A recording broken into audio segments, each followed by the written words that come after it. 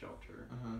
I don't know the distances in LA, but um, we've got friends, colleagues at the Channel Islands Marine Wildlife Institute that uh, you might have heard of, or your dad probably would have Yeah, heard of. probably. But they're doing they're doing the work that we're doing along your coast. So Oh, they're cool. bringing in harbor seals, elephant seals, California sea lions for rehabilitation. Yeah, they've been they're in a- very active you know them? they?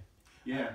I, Yeah. I, I've read about their activities down there. So there. they're uh, and they're a newer organization than ours. They're um, run by a husband and wife team, Ruth and Sam Dover. Sam's a veterinarian, um, but they've got volunteers. They've got no shortage of need.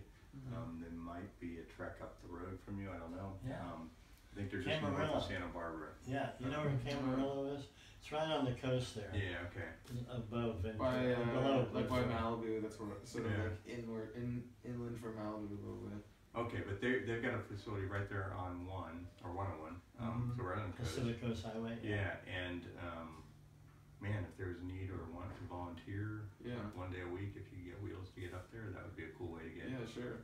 beyond beyond bunnies and squirrels and That's cool. injured Yeah. crows. You can Get into more more marine. magnificent Marine, animals. yeah, more marine. Love pelicans, by the way. not- Oh, that was for you, Sean.